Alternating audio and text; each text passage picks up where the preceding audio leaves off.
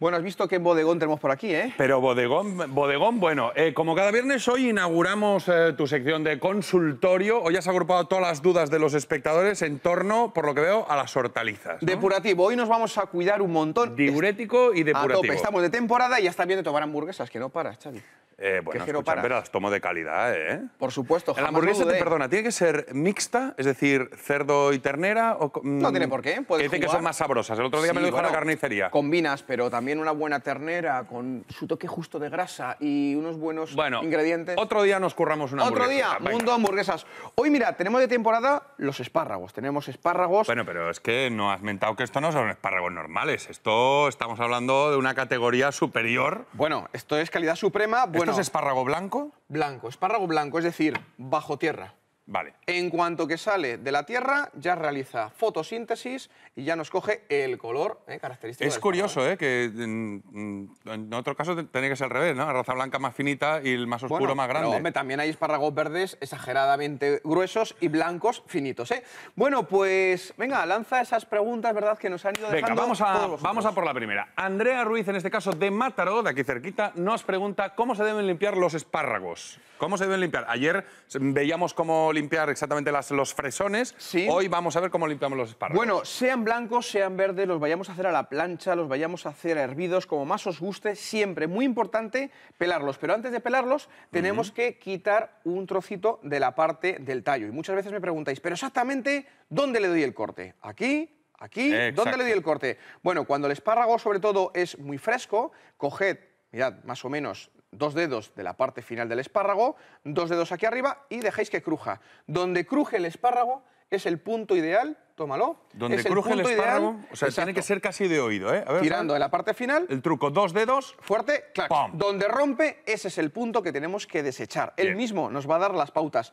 Y luego, respecto a la limpieza y manipulación, siempre, siempre, siempre hay que pelar el espárrago. No cometamos el error, por ejemplo, mira, aquí tengo estos, no cometamos el error de poner, por ejemplo, a hervir espárragos blancos sin haberlo pelado, porque al final, si no se pelan, vamos a conseguir, primero, que nos eternicemos durante la cocción. Segundo, que nos quede súper fibroso. Y tercero, que esta parte, es decir, la yema del espárrago es mucho más tierna que la parte del tallo. Yo, al pelar el espárrago, le estoy quitando, aparte de esas hebras, le estoy quitando durezas al espárrago. Bien. De esta manera ya podremos que quede hacerlo- como más homogéneo. Exacto, le podremos hacer a la plancha. En esta consulta también nos decían cómo había que cocinarlos. Pero bueno, vamos, vamos paso a paso. Primero hemos aprendido que tenemos que quitarle la, la parte Exacto. fibrosa, ¿vale? Para, para homogenizar un poquito Sí. la textura. Hemos visto por dónde rompe. Correcto. Y claro, fórmulas de cocinado, pues tantas como gustos hay en la vida, ¿no?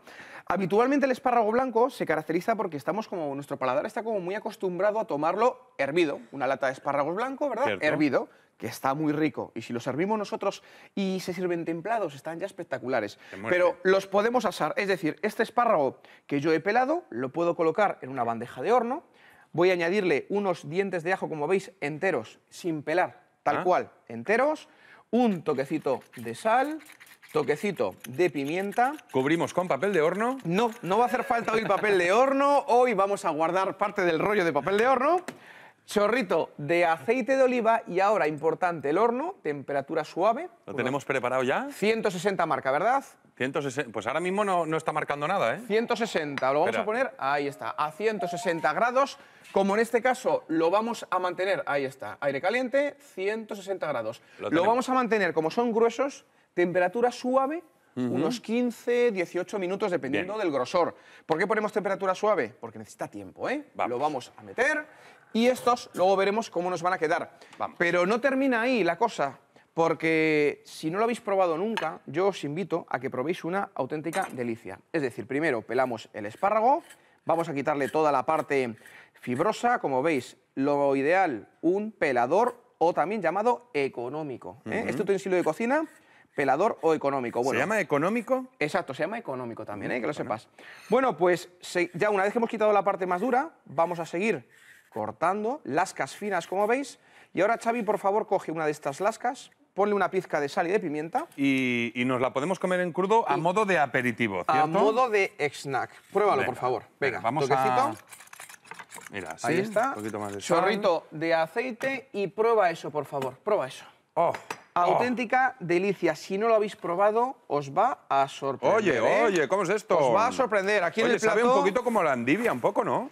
te va a recordar la endivia y si sí. te vas un poquito más, piensa en los guisantes frescos. Pues Te cierto. sale hasta el recuerdo, ¿verdad? Del guisante fresco. Oye, pues ya hemos, eh, hemos inventado un snack que sirve como aperitivo. Mundo espárragos Fantástico. en marcha, como ves. Vale. Pero seguro que tenemos alguna cuestión más por ahí escondida. Venga, vamos a por otra consulta. Ahora me ha pillado con la boca llena.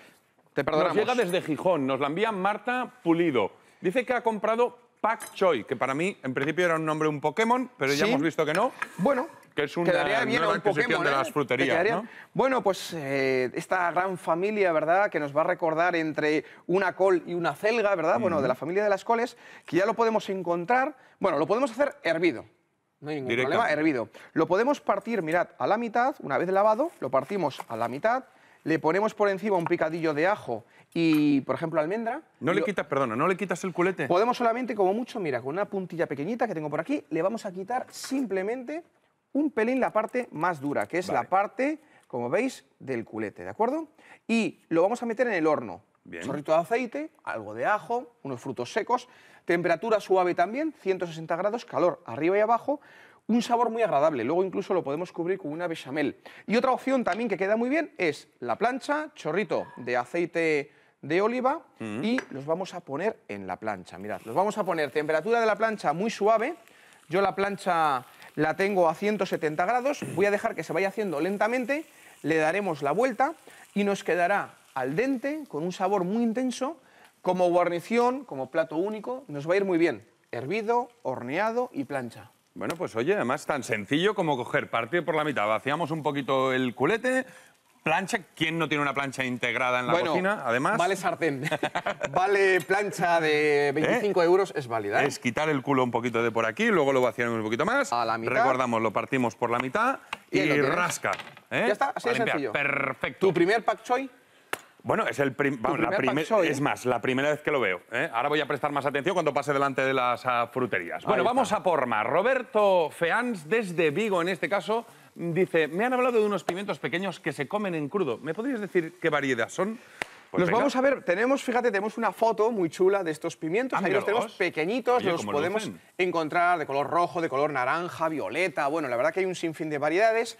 Y se trata de la variedad Sweet Bite. Sweet Bite, muy dulces. El bocado, ¿eh? bocado dulce. Bocado dulce. E incluso, fíjate, algunos países están acostumbrando a los colegios a que los niños vayan con su bolsita con cuatro o cinco pimientos. Se come a bocado, es muy, muy dulce. Lo podríamos también asar, ojo, lo podríamos saltear. Podríamos hacer con él un picadillo para una vinagreta.